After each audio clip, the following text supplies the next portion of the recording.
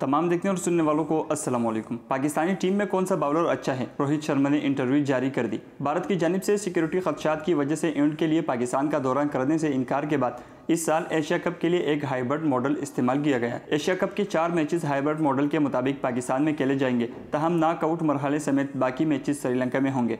जजीर मुल्क नौ मैचों की मेज़बानी करेगा।